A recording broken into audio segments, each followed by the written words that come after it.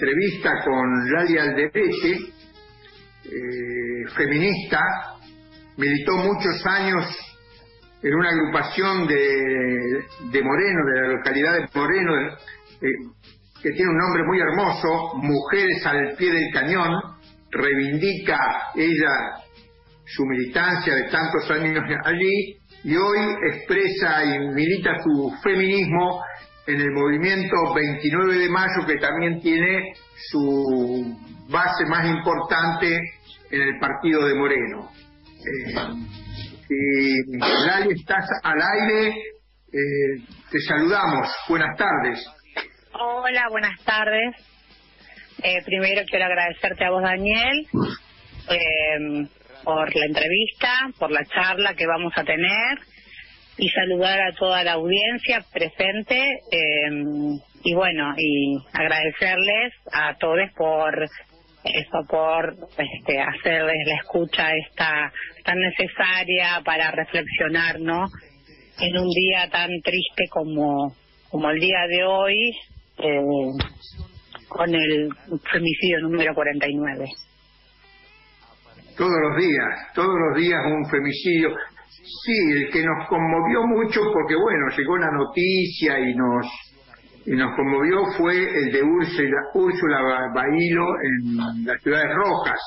Pero en realidad todos los días tenemos más de un femicidio. Contanos un poco, bueno, ¿Cuál es la situación? ¿Por qué ocurre? Eh, ¿qué, qué, están haciendo ustedes como movimiento feminista? Bueno, en realidad las tres preguntas son muy amplias. Eh, son verás, porque en realidad ¿Qué estamos haciendo nosotros, el movimiento feminista, frente a los femicidios? Es una respuesta que no la tengo. ¿Qué no estamos haciendo? Y no alcanza.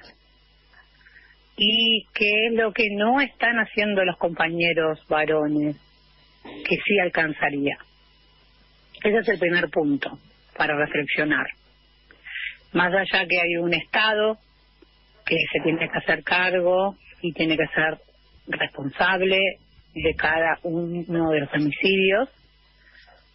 Eh, y cuando digo Estado me refiero desde la presidencia al Ministerio de la Mujer, me refiero a los gobernadores y a los municipios, pero también a la justicia, a las instituciones, que no acompañan y no cuidan a las mujeres y a las diversidades que son también eh, parte de este gran problema de los femicidios y los transfemicidios. Después, nosotras y nosotres y nosotros como organización, el 29 de mayo en el territorio, lo que estamos llevando a cabo es algo que venimos laburando hace más de seis años en un proceso de educación popular y feminismo eh, con las compañeras delegadas. En ese momento, la 29 de mayo, contaba con un número de comedores y de ollas eh, y que si vemos al día de hoy no se duplicó, sino se triplicó sumado a la, a la problemática de la pandemia, también eh, el espacio se fue como ampliando. Pero bueno, en ese momento nos dimos cinco años de un proceso de educación popular y feminismo junto a Claudia Corol y el equipo de educación popular de Pañuelos en Rebeldía, que venían amorosamente viajando en tren un viernes por mes al centro de Moreno, donde trabajábamos y abordábamos con las compañeras de la 29 que venían de distintos barrios y también nutriendo al movimiento feminista del oeste, de Moreno, que luego se fue haciendo semilla y se fueron armando organizaciones feministas pequeñas y más grandes.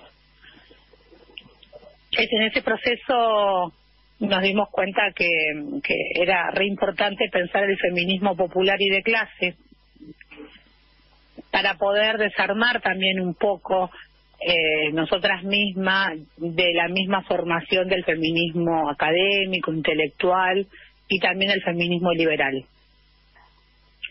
En ese proceso eh, llegó la pandemia y bueno, en mi caso más particular, personal y como dice, lo personal es político, eh, como feminista me, me, me sentí interpelada el día 2 que tuvimos que aislarnos, que nos tuvimos que quedar encerradas en nuestras casas y encerrados y, y desaparece una piba del barrio que se llama que se llamaba Camila Taroco y era muy difícil pensar la búsqueda de una piba del barrio en condiciones de confinamiento.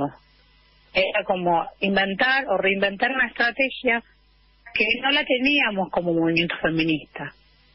Eh, sabemos que el reclamo y salir a buscar a la piba por el campo, por el barrio, por las quintas, eh, pero en ese momento no podíamos salir a la calle.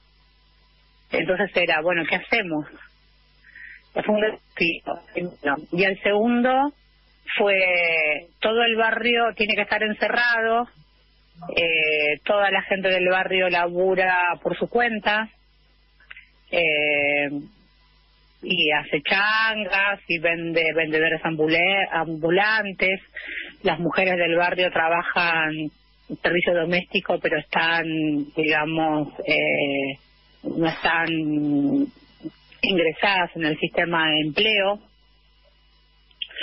Entonces también, digamos, el segundo desafío fue organizar una olla popular en el barrio. Y no fue casual que nos encontramos con otras compañeras y hermanas feministas en el barrio que no militábamos en los mismos espacios, pero nos encontramos el día uno eh, pelando las papas y preparando el guiso para repartir a la semana de que estábamos encerrados y que la fila para, para recibir las viandas era muy, muy grande. Muy variado entre vecinos que y vecinas que nunca jamás habían tenido la necesidad de ir a un comedor, como, como ya muchas familias y, carton, y compañeras cartoneras, cartoneros que venían con los carros también a buscar su vianda porque tampoco podían salir a chatarrear. Era una diversidad. Y en esa diversidad encontramos que también teníamos que deconstruirnos como feministas eh, con una mirada eh, de lucha hacia los derechos de las mujeres, sino con una mirada más de clase y que la prioridad era la comida, llevarse la vianda, que se lleven la vianda. Eh, pero también habían aumentado los femicidios y la violencia de género dentro de los hogares. Eh, Ahí aprovecho para hacerte una pregunta, Lali. Sí. Así le da. Una inquietud que yo tengo y seguramente mucha gente también se debe preguntar. ¿Los femicidios han aumentado se conoce más ahora, pero no aumentaron. ¿Cuál es el motivo si es que aumentaron? ¿Por, por qué aumentaron? Eh, tiene que ver este, el hecho de que las mujeres en general tienen más libertad, están avanzando, están reclamando y ocupando el espacio que corresponde. Bueno, un poco amplia la pregunta, pero no, no, se entiende, está bien. No, no nos entiende la, la pregunta completa. Está muy bien hecha. Eh, los femicidios han aumentado a través de los años porque el sistema capitalista ha avanzado sobre todo nuestros territorios y nuestros cuerpos en toda Latinoamérica. Y es consecuencia, la violencia de la violencia de un sistema capitalista y patriarcal entonces, tenemos que tenemos que pensar los femicidios con una mirada eh, de digamos, donde avanza los tres sistemas de opresión. Eh, sabemos y estamos de acuerdo, vos, yo y los oyentes, que el sistema capitalista ha avanzado, sobre todo Latinoamérica. El neoliberalismo, los modos de relaciones, de eh, relaciones, digamos, de, la economía eh, y las relaciones eh, con, con, con nosotras y con todo el pueblo, digamos, y las opresiones. Las opresiones fueron avanzando, eh, los gobiernos se fueron disfrazando, algunos de democráticos y después mostraron su peor, eh, digamos, salvajismo neoliberal y otros realmente fueron eh, votados en elecciones, este, entre comillas, democráticas, pero, pero con una base neoliberal. Eh, una, una, un estudio que se hizo de una de, las feministas académicas que también le agradezco, digo, no es que reniego, sino agradezco, digamos, las investigaciones, habla de que se reproduce más violencia cuanto más el sistema capitalista avanza, como sucede en la frontera entre México y Estados Unidos, donde están las famosas maquilas. El sistema capitalista necesita eh, que exista el femicidio donde más explotación hacia las mujeres hay para que para marcar la violencia a ese territorio y para determinar que en ese territorio va a haber siempre una superexplotación. Son las mujeres que hacen las zapatillas Nike y también otras marcas, las ropas. Eh, bueno, ahí, eh, digamos, Ciudad Juárez está en las maquilas, ahí es donde se reproducen las peores violencias, las violaciones, las mutilaciones y los femicidios por parte de los varones eh, los femicidios tienen que ver con el avance de, de, de, las, de eso, de las opresiones hacia todo nuestro pueblo. Pero nosotras las mujeres somos las que eh, perdiendo, digamos, cada vez más eh, los derechos o intentan que perdamos los derechos a través de los femicidios, a través de eh, políticas que no están pensadas para, para, abordar las miles de problemáticas que, que sufren las mujeres y las, y las disidencias. Eh, cuando decimos nuestro cuerpo, nuestro territorio, bueno, es eso. El sistema capitalista avanza sobre nuestros territorios y el sistema patriarcal avanza sobre nuestros cuerpos. Eh, y por otro lado, sí, eh, somos un ejemplo en el mundo. Hemos legalizado el aborto. Hemos conquistado una de las luchas de más de 15 años.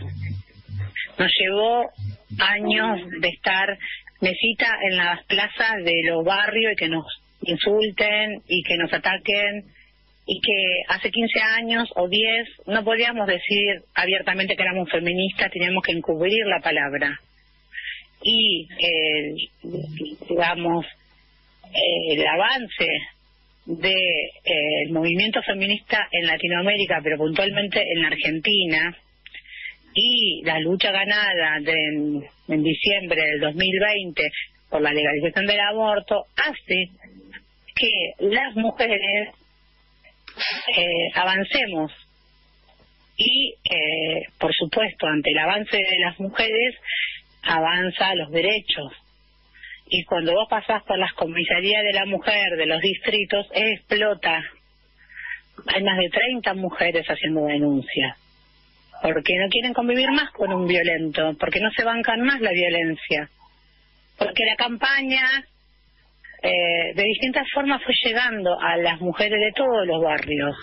Porque ahora no es que la mujer se queda en la casa porque no sabe que está sufriendo violencia estamos en otra etapa, estamos en una etapa donde están todas, casi todas, no todas, sería medio irresponsable decir que todas, pero la gran mayoría sabe que está viviendo una situación de violencia y hay muchas que quieren salir de esa situación de violencia. Y el femicidio existe también porque no hay una política que las acompañe. Porque muchas y la mayoría de las mujeres que fueron asesinadas se animaron a denunciar. Que el problema es que no es que la mujer no denuncia y las matan. El problema es que las mujeres se animan a denunciar, pero no hay un piso, no hay una base de parte del Estado que las contenga, que las proteja y que además controle al futuro femicida. Lali, te, hago una pregunta, te habla Mauro. Sí, hola Mauro, ¿cómo estás? Un gusto y bueno, gracias por, por darnos esta entrevista. Eh, esto último que vos decís es muy interesante porque es cierto que muchas de las mujeres que son asesinadas eh, se animaron a hacer las denuncias, pero también ahí ingresamos, digamos, en, el problema que es eh, cuál es la perspectiva o cuál es la formación o la educación de los funcionarios encargados de recibir esa denuncia. Porque hay miles de casos de, bueno, de funcionarios, y en este caso estamos hablando de, la institución policial, que de alguna manera eh, descartan las denuncias, no las toman. Eh, y, digamos, eh, ¿Cuál es la propuesta, o mejor dicho, qué debería cambiar desde el Estado dentro de esas instituciones para lograr, digamos, una, una mejor recepción? Porque después el, segundo problema que te quiero plantear y que tiene relación con lo que vos decís, con el tema del avance del capitalismo, es que eh, también el, problema, por ejemplo, de la vivienda es, es muy complejo en el sentido de que muchas de las mujeres que, que se quieren separar porque sufren violencia, a veces no saben dónde recurrir, digamos, dónde, dónde habitar, digamos. No sé si entiende la pregunta. Sí, se entiende. El problema de las mujeres en situación de violencia, el primer, el primer problema es lo económico, es la situación económica, es la situación laboral. Ninguna mujer se puede emancipar de la violencia que sufre dentro de la casa si no tiene un mango para poder darle de comer a los pibes o para pagar un alquiler. Esa es la base principal y es lo que estamos discutiendo acá en Moreno con la mesa eh, eh, la mesa de, contra las violencias con que se armaron entre las organizaciones del municipio. El primer problema es ese, eh, ¿por qué el Ministerio de la Mujer no destraba el trámite burocrático como es el potenciar? Porque las mujeres que sufren violencia de género terminan recibiendo potenciar por distintas organizaciones sociales. ¿Por qué no tienen que, y esa es una de las propuestas de lo que tenemos, sabemos que un potencial no sirve, pero ante nada, eh, por lo menos que el Ministerio de la Mujer destrabe ese formulario burocrático que hace que las mujeres que sufren violencia no puedan ingresar para cobrar porque las mujeres que sufren violencia de género tienen que tener un registro, tiene que haber un registro. Y si el, y si el recepciona a través del potenciar todas las mujeres que sufren violencia, ahí tenés una base de un mínimo observatorio. Pero el problema es que es re burocrático el trámite que hicieron para que las mujeres puedan recibir el potenciar. Entonces terminan recibiendo a través de organizaciones amigas y se pierden, porque eh, reciben como un habitante más. Y en el medio está sufriendo un montón de situaciones y no hay un equipo que la esté acompañando. Y la, y la respuesta que te hago con respecto a las fuerzas policiales y a, y a la incapacidad que tienen para tomar las denuncias, para recepcionar, eh, bueno, es lo mismo que venimos eh, reclamando, las revictimizan, están ocho horas en la comisaría, eh, hay dos personal, quizás con suerte están capacitadas, quizás no, la mayoría de las veces no están capacitadas ni capacitados para recepcionar y acompañar esa situación de violencia. Eh, explotan las comisarías de la mujer y las fiscalías en la fiscalía le dicen que se tiene que conseguir un abogado, eh, o siento que es un derecho que haya un abogado oficio. Eh, y que aparte que las perimetrales y, las denuncias, eh, no hace falta que, que sean con abogados, las pueden tramitar ellas mismas. Eh, nosotros queremos acelerar todo lo que tenga que ver con eh, la justicia. Eh, ese es el punto. Nosotras el 17 de febrero movilizamos bajo el mismo lema eh, Ni una menos nacional, que de la policía que nos cuida, justicia por Úrsula, eh, fuera Bernie y, la consigna, digamos, eh, y, la propuesta era ir a los tribunales. Nosotras, bueno, acá en Moreno no tenemos tribunales, somos para la fiscalía. Eh, a, llevar un, pliego de petitorio donde les pedimos y exigimos eh, que los violentos que ya estuvieron presos no sean liberados, y menos sin pulsera, que haya un control de los violentos, que no minimicen las amenazas, que no las toman a las amenazas de las mujeres y las compañeras que denunciaron, no las toman como real, no las dimensionan. Y ahí es cuando aparece el femicidio. Lali, eh, yo tengo una, una, última pregunta porque estamos llegando al final del programa. Hay una institución que yo siento que está poco identificada, criticada, señalada como instrumento de la discriminación de la mujer, que es la los medios de comunicación, pero en particular la televisión. Uno prende la televisión y dice, pero claro, esto es una educación para el machismo. No sé qué opinión tienen ustedes sobre esto. Mira, con el caso Úrsula, yo prendía la tele y lo escuchaba a Bernie hablar de femicidio. Claro. Se me, se me revolvía el estómago. Imagínate escuchar a Bernie hablando sobre los femicidios y dando cátedra. O sea, ya eh, es una obviedad que los medios hegemónicos de comunicación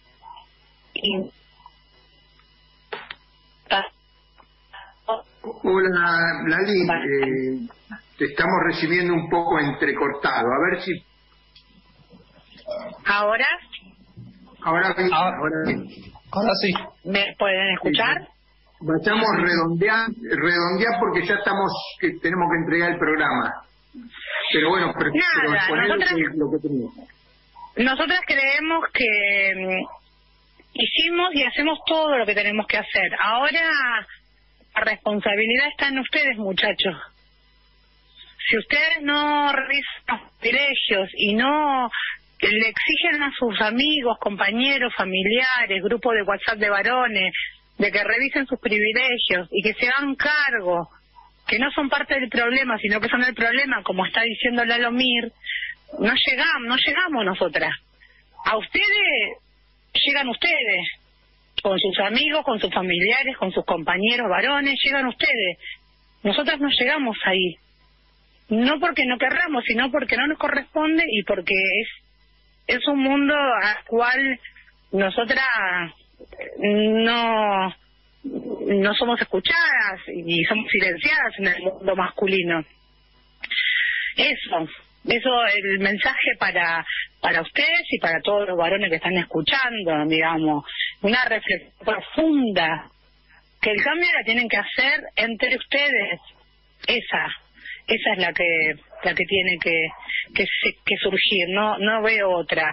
Creo que hicimos mucho y que hacemos un montón pero no alcanza. y que el gobierno también tiene que dejar de poner un ministerio fantasma y tiene que realmente tomar cartas en el asunto y designar un presupuesto real.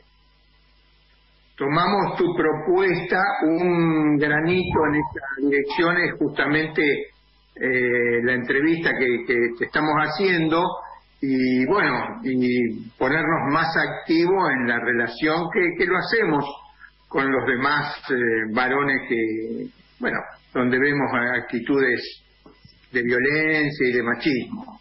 Este, te agradecemos mucho este, esta, estos minutos que nos has dedicado a nosotros, a la audiencia, y que nos has este, esclarecido bastante el panorama de, bueno, de los femicidios, de, en general de la situación de la mujer y el movimiento y la lucha del movimiento feminista. No, la agradecida soy yo. Me permito mm, eso, me permito ser lo más transparente posible con las reflexiones y me permito mm, decirles a ustedes, compañeros varones, que si no nos acompañan en esta lucha, no vamos a poder derribar el patriarcado ni el capitalismo, por supuesto. Así que muy agradecida porque este espacio de ustedes es compartido eh, para reflexionar esto. Así que nada, yo soy la agradecida. Un abrazo, Lali. Gracias, Lali, por participar en el programa. Muchas gracias. Muchas gracias, compañeros, y muchas gracias a la audiencia. Hasta luego y venceremos. Venceremos.